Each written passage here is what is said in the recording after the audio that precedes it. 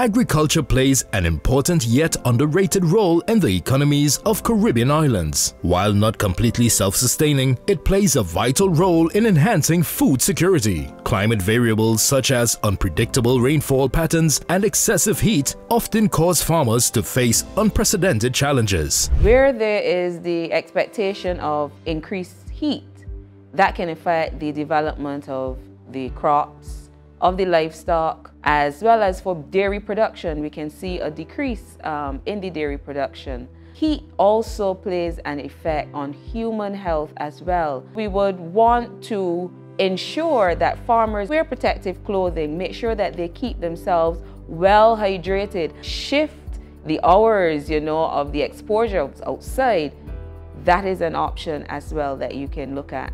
While certain regions may experience prolonged droughts, predictions also raise concerns regarding heavy rainfall, hurricanes, and flooding. The expected increases in the tropical cyclone activity, those strong winds can have an impact on your crops, that can have an impact on your infrastructure.